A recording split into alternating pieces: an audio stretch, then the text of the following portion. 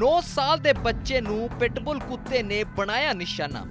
ਬੁਰੀ ਤਰੀਕੇ ਨਾਲ ਨੋਚ-ਨੋਚ ਕੇ ਕੀਤਾ ਲਹੂ ਲੋਹਾਨ ਰੋਂਦੀ ਮਾਂ ਆਪਣੇ ਬੱਚੇ ਨੂੰ ਲੈ ਕੇ ਪਹੁੰਚੀ ਹਸਪਤਾਲ। ਤਾਂ ਕਿ ਪਿਟਬੁਲ ਕੁੱਤੇ ਦੇ ਹਮਲੇ ਦੀ ਖਬਰ ਅਕਸਰ ਹੀ ਸੁਣਨ ਨੂੰ ਮਿਲ ਜਾਂਦੀ ਹੈ, ਪਰ ਫਿਰ ਵੀ ਅਜੇ ਤੱਕ ਇਹ ਜਾਨਵਰ ਘਰਾਂ ਦੇ ਵਿੱਚ ਪਾਲਤੂ ਬਣਾ ਕੇ ਰੱਖੇ ਜਾਂਦੇ ਨੇ। ਦੱਸਦੇ ਕਿ ਤਾਜ਼ਾ ਮਾਮਲਾ ਨੰਗਲ ਤੋਂ ਸਾਹਮਣੇ ਆਇਆ ਜਿੱਥੇ ਇੱਕ ਪਿਟਬੁਲ ਕੁੱਤੇ ਨੇ ਚੌਥੀ ਕਲਾਸ ਦੇ ਵਿੱਚ ਪੜਨ ਵਾਲੇ 9 ਸਾਲ ਦੇ ਬੱਚੇ ਤੇ ਹਮਲਾ ਕੀਤਾ। ਤੇ ਉਸ ਨੂੰ ਗੰਭੀਰ ਰੂਪ ਦੇ ਵਿੱਚ ਜ਼ਖਮੀ ਕਰ ਦਿੱਤਾ। ਬੱਚੇ ਦੀ ਹਾਲਤ ਜ਼ਿਆਦਾ ਖਰਾਬ ਸੀ, ਜਿਸ ਤੋਂ ਬਾਅਦ ਬੱਚੇ ਦੀ ਮਾਂ ਆਪਣੇ ਕੰਮਦੇ ਹੋਏ ਹੱਥਾਂ ਦੇ ਨਾਲ ਉਸ ਨੂੰ ਤੁਰੰਤ ਹਸਪਤਾਲ ਲੈ ਕੇ ਪਹੁੰਚਦੀ ਹੈ, ਜਿੱਥੇ ਉਸ ਨੂੰ ਇਲਾਜ ਦਿੱਤਾ ਜਾਂਦਾ ਹੈ ਤੇ ਫਿਰ ਪੀਜੀਆਈ ਦੇ ਵਿੱਚ ਰੈਫਰ ਕਰ ਦਿੱਤਾ ਜਾਂਦਾ ਹੈ। ਬੱਚੇ ਦੀ ਮਾਂ ਦਾ ਕਹਿਣਾ ਹੈ ਕਿ ਬੱਚਾ ਉਹਨਾਂ ਦੇ ਨਾਲ ਖੇਤਾਂ ਵਿੱਚ ਗਿਆ ਸੀ, ਜਿੱਥੇ ਉਹ ਘਰ ਵੱਲ ਵਾਪਸ ਆ ਰਿਹਾ ਸੀ ਕਿ ਰਸਤੇ ਦੇ ਵਿੱਚ ਕੁੱਤੇ ਨੇ ਉਸ ਤੇ ਹਮਲਾ ਕਰਕੇ ਗੰਭੀਰ ਰੂਪ ਦੇ ਵਿੱਚ ਜ਼ਖਮੀ ਕਰ ਦਿੱਤਾ। ਮੇਰਾ ਬੇਟਾ 9 ਸਾਲ ਦਾ। ਕਿਹੜੀ ਕਲਾਸ ਪੜ੍ਹਦਾ 4th ਕਲਾਸ ਕਿੱਦਾਂ ਹੋਇਆ ਸਾਰਾ? ਕੀ ਗੱਲ ਅਸੀਂ ਦੋਨੋਂ ਖੇਤ ਨੂੰ ਗਏ। ਤੇ ਮੇਰੇ ਕੋਲ ਖੇਲਦਾ ਤਾ। ਮੈਨੂੰ ਪੁੱਛਦਾ ਟਾਈਮ ਕਿੰਨਾ ਹੋਇਆ? ਮੰਮਾ ਮੈਂ 5 ਵੱਜ ਗਏ। ਕਹਿੰਦਾ ਮੈਂ ਸਾਈਕਲ ਚਲਾਉਣ ਜਾਣਾ। ਹਲੇ ਮੇਰੇ ਕੋਲ ਤੇ ਖੇਤ ਤੇ ਆਇਆ ਹੀ ਤਾਂ। ਮਤਲਬ ਇਹਦਾ ਸੜਕ ਕਿਸ ਨਾਲ ਹੀ ਖੇਤ ਹੈ। ਉੱਥੇ ਹੀ ਆਇਆ ਤਾਂ ਮੋੜ ਪਰ। ਸਾਨੂੰ ਉੱਥੇ ਕੁੱਤਾ ਖੜਾ ਤਾ। ਇਹ ਖੜਾ ਕੇ ਦੇਖਦਾ ਹੋਣਾ ਵੀ ਲੰਘ ਜੂਗਾ। ਕੁੱਤਾ ਚੱਲ ਗਿਆ ਸਾਈਡ ਤੇ। ਪਹਿਲਾਂ ਇਹ ਨਿਕਲਿਆ ਜਿੱਦਾਂ ਹੀ ਕੁੱਤਾ ਮਗਰ ਪੈ ਗਿਆ। ਗਿਰਿਆ ਤੇ ਪਿੱਛੇ ਤੇ ਕੁੱਤੇ ਨੇ ਪੂਰੇ ਬੈਕ ਹੀ ਦੀ ਖਾ ਲਈ ਛੱਡਿਆ ਨਹੀਂ ਉਸ ਟਾਈਮ ਤੱਕ। ਜਦ ਤੱਕ ਚੂਰਾ ਨਹੀਂ ਹੋ ਗਿਆ। ਕਿੱਦਾਂ ਫਿਰ ਜਿੱਦਾਂ ਹੀ ਰੋਲਾ ਪਿਆ ਰੋਣ ਲੱਗਿਆ ਮੈਂ ਦੇਖਿਆ ਨੱਠੇ ਜਾ ਕੇ ਦਿਖੇ ਤੇ ਨੱਠੀ ਦੇਖਿਆ ਮੈਨੂੰ ਲੱਗਾ ਮਾੜਾ ਮੋਟਾ ਕੱਟਿਆ ਹੋਣਾ ਕਹਿੰਦੇ ਪਿੱਠ ਤੇ ਕੱਟਿਆ। ਤੇ ਮੈਂ ਕੱਪੜੇ ਖੋਲੇ ਮੇਰੇ ਪੁੱਤ ਦਾ ਸਾਰਾ ਪਾਸਾ ਥੱਲੇ ਗਿਰ ਗਿਆ ਇੱਕ ਵਾਰ ਚ।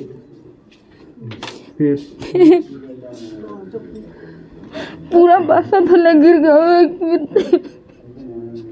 ਤੇ ਜਦੋਂ ਉਹ ਤੇ ਕੁੱਤਾ ਫੜਨ ਆਈ ਫਿਰ ਵੀ ਛੁੱਟ ਛੁੱਟ ਕੇ ਕੁੱਤਾ ਸਾਡੇ ਉੱਪਰ ਨੂੰ ਆਉਂਦਾ ਤਾਂ ਉਲਟਾ ਬੋਲਦੇ ਅਸੀਂ ਹੁਣੇ ਖੁੱਲਾ ਛੱਡਿਆ ਇਹ ਕੁੱਤਾ ਜਦ ਤੁਹਾਨੂੰ ਪਤਾ ਇੰਨਾ ਖਤਰਨਾਕ ਹੈ ਕਾਦੇ ਖੁੱਲਾ ਛੱਡਿਆ? ਰੱਖਿਆ ਕਾਦੇ ਇੰਦਾਂ ਦਾ ਕੁੱਤਾ ਉਹ ਗੋਲੀ ਕਾਦੇ ਨਹੀਂ ਮਾਰਦੇ? ਫਿਰ ਸਾਡੇ ਕੋਲ ਹਸਪੀਟਲ ਪੁੱਜ ਕੇ ਜਾ ਕੇ ਚੰਡੀਗੜ੍ਹ। ਸਾਡੇ ਨਾਲ ਫੈਸਲਾ ਕਰ ਰਹੇ ਨੇ। ਕਹਿੰਦੇ ਅਸੀਂ ਪੈਸੇ ਦਿੰਦੇ ਅਸੀਂ ਖਰਚਾ ਕਰਦੇ। ਕੀ ਮੰਗ ਕਰਦੇ ਹੋ ਤੁਸੀਂ? ਅਸੀਂ ਮੰਗ ਕਰਦੇ ਕਿ ਕੁੱਤੇ ਨੂੰ ਗੋਲੀ ਮਾਰੀ ਜਾਵੇ ਨਾਲੇ ਜਿਹੜੇ ਉਸ ਘਰ 'ਚ ਜਿਹਨੇ ਰੱਖਿਆ ਉਹਨੂੰ ਵੀ ਨਾਲ ਗੋਲੀ ਮਾਰੀ ਜਾਵੇ। ਨਹੀਂ ਮਾਰਨੀ ਤਾਂ ਅਸੀਂ ਮਾਰਨਾ।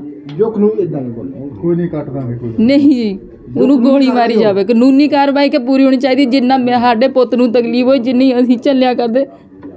ਉਹਨਾਂ ਨੂੰ ਵੀ ਪਤਾ ਲੱਗਣਾ ਚਾਹੀਦਾ। ਸਰ ਮੇਰਾ ਨਾਮ ਵਿਜੇ ਸਿੰਘ ਹੈ ਜੀ। ਵਿਜੇ ਸਿੰਘ ਜੀ ਕੀ ਹੋਈ ਸਾਰੀ ਗੱਲਬਾਤ ਤੇ? ਕਿੰਨੇ ਸਾਲ ਦਾ ਬੱਚਾ ਕਿਹੜੀ ਪਤਾ ਕਿਵੇਂ ਦਾ ਹੈ? ਕੀ ਕਹਿਣਾ ਚਾਹੋਗੇ? ਸਰ ਸਭ ਤੋਂ ਪਹਿਲਾਂ ਤਾਂ ਇਹ ਹੈ ਕਿ ਇਹ ਜਿਹੜੀ ਘਟਨਾ ਵਾਪਰੀ ਹੈ ਇੱਥੇ ਪਿੰਡ ਦੇ ਵਿੱਚ ਇਹ ਮਤਲਬ ਸਾਰਿਆਂ ਲੋਕਾਂ ਨੂੰ ਦਹਿਲਾਣੇ ਵਾਲੀ ਘਟਨਾ ਹੈਗੀ ਹੈ, ਬੱਚਿਆਂ ਨੂੰ ਖਾਸ ਕਰਕੇ। ਜਿਹੜੀ ਚੀਜ਼ ਤੋਂ ਸਾਨੂੰ ਗਵਰਨਮੈਂਟ ਨੇ ਪਹਿਲੇ ਹੀ ਦੱਸਿਆ ਵਾ ਕਿ ਇਹ ਚੀਜ਼ਾਂ ਅਸੀਂ ਨਹੀਂ ਰੱਖਣੀਆਂ ਜਾਂ ਇਹ ਚੀਜ਼ਾਂ ਸਾਡੇ ਵਾਸਤੇ ਠੀਕ ਨਹੀਂ ਹਨ। ਤੇ ਉਹ ਚੀਜ਼ਾਂ ਅਸੀਂ ਗਵਰਨਮੈਂਟ ਦੇ ਜਿਹੜੇ ਆਦੇਸ਼ ਹੈ, ਉਹਨਾਂ ਨੂੰ ਨਾ ਪਾਲਣਾ ਕਰਦੇ ਹੋਏ ਵੀ ਅਸੀਂ ਇਹਨਾਂ ਚੀਜ਼ਾਂ ਨੂੰ ਲੋਕਾਂ ਦੀ ਜਾਨ ਦਾ ਖਤਰਾ ਰੱਖ ਕੇ ਘਰ ਦੇ ਵਿੱਚ। ਤੇ ਬੱਚਿਆਂ ਦਾ ਦੇਖੋ, ਇਹ ਪਿਟਡ ਪਿਟਬੁਲ ਸੀਗਾ ਇਹ ਕੁੱਤਾ ਜਿਹੜਾ ਜਿਹਦੇ ਉੱਤੇ ਗਵਰਨਮੈਂਟ ਨੇ ਬੈਨ ਲਗਾਇਆ ਵਾ ਪਹਿਲੇ ਵੀ। ਕਿਉਂਕਿ ਪਹਿਲੇ ਬਾਹਰਲੇ ਦੇਸ਼ਾਂ ਵਿੱਚ ਵੀ ਇਹਦੇ ਉੱਤੇ ਬੈਨ ਲੱਗਿਆ ਵਾ ਤੇ ਸਾਡੇ ਦੇਸ਼ ਵਿੱਚ ਵੀ ਇਹਦੇ ਉੱਪਰ ਬੈਨ ਲੱਗਿਆ ਹੋਇਆ। ਹੈ ਕੀ ਗੱਲ ਕੀ ਹੋਈ ਸਰ? ਤੇ ਹੁਣ ਇਹ ਬੱਚਾ ਹੁਣ ਅਸੀਂ ਤਾਂ ਜੀ ਦੇਖੋ ਆਪਣੇ ਖੇਤਾਂ 'ਚ ਵੀ ਜਾਣਾ ਹੈਗਾ ਬੱਚਿਆਂ ਨੇ ਸਕੂਲ ਵੀ ਜਾਣਾ ਹੈ ਬੱਚਿਆਂ ਨੇ ਖੇਲਣਾ ਵੀ ਹੈਗਾ ਹੈ।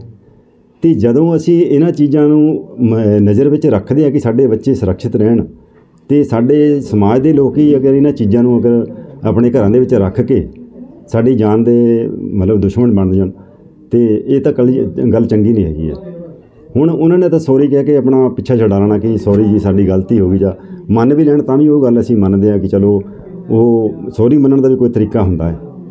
ਤੇ ਹੁਣ ਇਹ ਬੱਚੇ ਨੂੰ ਜੇ ਮੈਂ ਕਹਿੰਦਾ ਕਿਸੇ ਚੰਗੇ ਬੰਦੇ ਨੂੰ ਵੀ ਵੱਢ ਲੈਂਦੇ ਇਹ ਕੁੱਤਾ, ਤਾਂ ਮੇਰੇ ਖਿਆਲ ਵਿੱਚ ਉਹ ਬੰਦਾ ਦਹਿਸ਼ਤ ਦੇ ਨਾਲ ਹੀ ਮਰ ਜਾਂਦਾ ਦੇਖ ਕੇ। ਅਸੀਂ ਤਾਂ ਇਹ ਕਹਿੰਦੇ ਵੀ ਸਾਡਾ ਜਿਹੜਾ ਬੱਚਾ ਹੈਗਾ, ਇਹ ਸਾਹਸੀ ਬੱਚਾ ਸੀਗਾ। ਤੇ ਜਿਹਨੇ ਏਡੇ ਬੜੇ ਇੱਕ ਜ਼ਖਮ ਨੂੰ ਮਤਲਬ ਝੱਲਦੇ ਹੋਏ ਵੀ ਸਾਡੇ ਸਾਹਮਣੇ ਚਲੋ ਪ੍ਰਮਾਤਮਾ ਦੀ ਕਿਰਪਾ ਹੈ ਕੁ ਸਾਲ ਲੱਗ ਜਾਣੇ ਠੀਕ ਹੋਣ ਨੂੰ? ਸਾਲ ਤਾਂ ਦੇਖੋ 5-7 ਮਹੀਨੇ ਤਾਂ ਲੱਗਣੇ ਹੀ ਜੀ ਕਮ ਸੇ ਕਮ ਵੀ। ਕਿਉਂਕਿ ਅਜੇ ਬੱਚੇ ਦਾ ਸਿਰਫ ਡਰੈਸਿੰਗ ਕੀਤੀ ਹੈ ਪੀਜੀਆਈ ਤੋਂ ਤੇ ਉਹਨਾਂ ਨੇ ਇੰਜੈਕਸ਼ਨ ਵਗੈਰਾ ਲਾਏ ਇਨਫੈਕਸ਼ਨ ਦੇ ਤੇ ਦੂਸਰਾ ਉਹਨਾਂ ਨੇ ਕਿਹਾ ਕਿ 14 ਦਿਨ ਬਾਅਦ ਇਹਦੀ ਅਸੀਂ ਦੇਖਾਂਗੇ ਵੀ ਕੀ ਹਾਲਾਤ ਹੈ। ਉਸ ਤੋਂ ਬਾਅਦ ਫਿਰ ਸਰਜਰੀ ਕਰਾਂਗੇ ਉਹਦੀ। ਕੀ ਮੰਗ ਕਰਦੇ ਤੁਸੀਂ?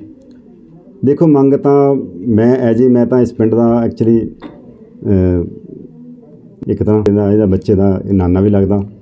ਤੇ ਮੈਂ ਤਾਂ ਇਹੀ ਕਹਾਂਗਾ ਕਿ ਸਭ ਤੋਂ ਪਹਿਲਾਂ ਤਾਂ ਮੈਂ ਪਿੰਡ ਦੇ ਪਦਵੰਤੇ ਸੱਜਣ ਜਿਹੜੇ ਜਾਂ ਸਰਪੰਚ ਸਾਹਿਬ ਜਾਂ ਕੋਈ ਵੀ ਹੈ, ਮੈਂ ਪਹਿਲਾਂ ਉਹਨਾਂ ਨੂੰ ਇਹ ਕਹਿਣਾ ਚਾਹੁੰਦਾ ਕਿ ਸਭ ਤੋਂ ਪਹਿਲਾਂ ਜਿਹੜੇ ਕੁੱਤੇ ਜਿਨ੍ਹਾਂ ਨੇ ਵੀ ਰੱਖੇ ਹੋਏ ਆ ਨਾ, ਇਹ ਇਹਨਾਂ ਦੇ ਉੱਤੇ ਬੈਨ ਲੱਗਣਾ ਚਾਹੀਦਾ ਹੈ।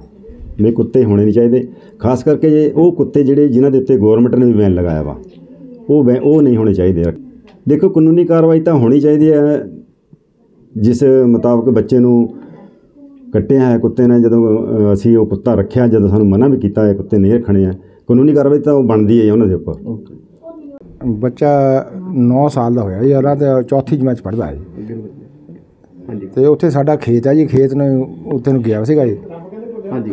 ਉਧਰ ਸਾਡੇ ਖੇਤ ਹੈਗੇ ਜਿੱਥੇ ਇਹ ਉੱਥੋਂ ਘਰ ਨੂੰ ਵਾਪਸ ਆ ਰਿਹਾ। ਤਾਂ ਕਹਿੰਦਾ ਮੈਂ ਸਾਈਕਲ ਜਿਹਾ ਚਲਾਣਾ ਜਾ ਘਰ ਜਾ ਕੇ। ਉਹ ਆਂਦੇ ਕੁੱਤੇ ਨੇ ਮਤਲਬ ਖੁੱਲਾ ਛੱਡਿਆ ਹੋਣਾ ਉਹਨਾਂ ਨੇ ਕੁੱਤੇ ਨੇ ਆਂਦੇ ਢਾਲਿਆ ਕਿਹੜਾ ਕੁੱਤਾ ਸੀਗਾ ਜੀ? ਕੁੱਤਾ ਪਿਟਬੁਲ ਕੁੱਤਾ ਜੀ। ਉਹਨੇ ਰੱਖਿਆ ਵਾ ਉਹਨਾਂ ਨੇ ਤੇ ਮੋਰ ਉਹਨਾਂ ਨੂੰ ਕੋਈ ਉਹਦੇ ਖੁੱਲਾ ਛੱਡਤਾ ਵਾ ਤਾਂ। ਉਹਨੂੰ ਉੱਥੇ ਢਾ ਲਿਆ ਤੇ ਉਹ ਸਾਰਾ ਮਤਲਬ ਪਾਸਾ ਸੱਜਾ ਪਾਸਾ ਪੂਰਾ ਸਾਰਾ ਹੀ ਖਾ ਲਿਆ। ਜਦੋਂ ਉਹਨਾਂ ਨੂੰ ਕਿਹਾ ਉਹ ਕਹਿੰਦੇ ਕਾਫੀ ਜ਼ਖਮੀ ਹਾਂਜੀ? ਕਾਫੀ ਜ਼ਖਮੀ ਹੋ ਗਏ ਬਹੁਤ ਜ਼ਿਆਦਾ ਜ਼ਖਮੀ ਹੈ ਜੀ। ਪਹੁੰਚ ਗਿਆ ਬੱਚਾ। ਹਾਂਜੀ ਹਾਂਜੀ। ਤੁਹਾਨੂੰ ਫੋਟੋ ਦਿਖਾ ਫਿਰ ਉਹਦਾ ਦਿੰਦਾ ਇਲਾਜ ਕਿੱਥੇ ਕਰਾਇਆ? ਅਸੀਂ ਫਿਰ ਇੱਕਦਮ ਹੀ ਸਿਵਲ ਹਸਪੀਟਲ ਲੈ ਗਏ ਜਦੇ ਉਦਾਂ ਹੀ। ਉਸ ਵੇਲੇ ਫਿਰ ਬਿਨਾਂ ਪੈਸਿਆਂ ਦੇ ਖਾਲੀ ਗਏ ਕੋਈ ਪੈਸਾ ਵੀ ਕੋਲ ਨਹੀਂ ਦਾ। ਉੱਥੇ ਮੈਨੂੰ ਬੰਦਿਆਂ ਨੇ ਹੋਰ ਨੇ ਪੈਸੇ ਦਿੱਤੇ ਮੇਰੇ ਸਿਵਲ ਹਸਪੀਟਲ ਨੇ ਫਿਰ ਉਹਨੀ ਫਸਟ ਏਡ ਦੇ ਕੇ ਪੋਟ ਪੱਟੀ ਪੁੱਟੀ ਕਰਕੇ ਧੋ ਕੇ ਐਨ ਟੀਕੇ ਟੂਕੇ ਲਾ ਕੇ ਫਿਰ ਉਹਨਾਂ ਨੇ ਸਾਨੂੰ ਪੀਜੀ ਰੈਫਰ ਕਰਤਾ।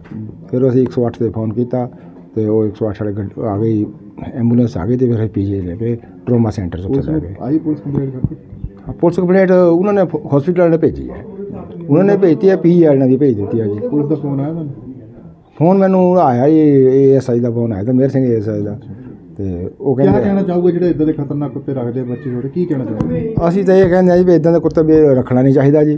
ਜਾਂ ਉਹ ਗੋਲੀ ਮਾਰਨੀ ਚਾਹੀਦੀ ਉਹਨਾਂ ਨੂੰ ਜਾਂ ਫਿਰ ਆਪਣੇ ਬੰਨ ਕੇ ਰੱਖੋ ਉਹਨਾਂ ਦਾ ਲਾਇਸੈਂਸ ਚੈੱਕ ਕਰੋ ਤੇ ਉਹ ਦੇਖੋ ਵੀ ਕੁੱਤੇ ਨੂੰ ਟੀਕੇ ਲਵਾਏ ਕਿ ਨਹੀਂ ਲਵਾਏ ਹੋਏ, ਕੁੱਤੇ ਦਾ ਟੀਕੇ ਦਾ ਕਾਰਡ ਬਣਿਆ ਹੋ ਕਿ ਨਹੀਂ ਬਣਿਆ ਵਾ ਇਹ ਚੀਜ਼ਾਂ ਚੈੱਕ ਹੋਣੀਆਂ ਚਾਹੀਦੀਆਂ।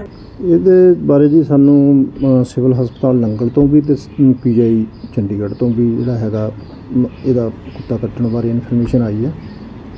ਜਿਹਦੇ ਬਾਰੇ ਅੱਜ ਉਹਦੇ ਬੱਚੇ ਦੇ ਬਾਪ, ਮਾਤਾ ਪਿਤਾ ਨਾਲ ਜਿਹੜਾ ਫੋਨ ਤੇ ਸੰਪਰਕ ਕੀਤਾ ਜੀ, ਉਹਨਾਂ ਨੇ ਦੱਸਿਆ ਵੀ ਸਾਨੂੰ ਅੱਜ ਇਹ ਛੁੱਟੀ ਹੋਣ ਬਾਰੇ ਕਹਿ ਰਹੇ ਪੀਜੀਆਈ ਤੋਂ ਵੀ ਅਸੀਂ ਸ਼ਾਮ ਤੱਕ ਤੁਹਾਨੂੰ ਦੱਸਾਂਗੇ। ਜੋ ਵੀ ਅਗਲੀ ਫਿਰ ਜਿਹੜੀ ਹੈਗੀ ਆ ਕਾਰਵਾਈ ਅਸੀਂ, ਬਣਦੀ ਜਿਹੜੀ ਕਾਰਵਾਈ ਆ ਉਹ ਅਮਲ ਵਿੱਚ ਲਿਆਂਦੀ ਜਾਊਗੀ। ਐਸਾ ਨਹੀਂ ਕਿ ਜਿਹੜੇ ਪਿਟਬੁਲ ਕੁੱਤੇ ਆ, ਉਹ ਸਰਕਾਰ ਵੱਲੋਂ ਮਨਾਈ ਦੇ ਅਧੀਨ ਹੈਗੇ ਲੇਕਿਨ ਪਿਟਬੁਲ ਕੁੱਤੇ ਨੇ ਕੱਟਿਆ ਇਹਦੇ ਬਾਰੇ ਪੁਲਿਸ ਦੀ ਕਾਰਵਾਈ ਕਰੂਗੀ ਕਿ ਕਿਉਂਕਿ ਲਗਾਤਾਰ ਜਿਹੜੇ ਇੱਦਾਂ ਦੇ ਕਾਂ ਸਾਹਮਣੇ ਆ ਰਹੇ ਨੇ। ਤੇ ਇਹਦੇ ਬਾਰੇ ਜੀ ਅਫਸਰਾਂ ਨਾਲ ਡਿਸਕਸ ਕਰਕੇ, ਇਸ ਕੇਸ ਬਾਰੇ ਵੀ ਤੇ ਬਾਕੀ ਜੋ ਤੁਸੀਂ ਪਿਟਬਾਲ ਬਾਰੇ ਵੀ ਕਹਿ ਰਹੇ ਹੋ, ਇਹ ਅਫਸਰਾਂ ਨਾਲ ਡਿਸਕਸ ਕਰਕੇ ਜੋ ਵੀ ਬਣਦੀ ਕਾਰਵਾਈ ਹੈ, ਜਿਹੜੀ ਅਗਲੀ ਕਾਰਵਾਈ ਅਮਲ ਵਿੱਚ ਲਿਆਂਦੀ ਜਾਊਗੀ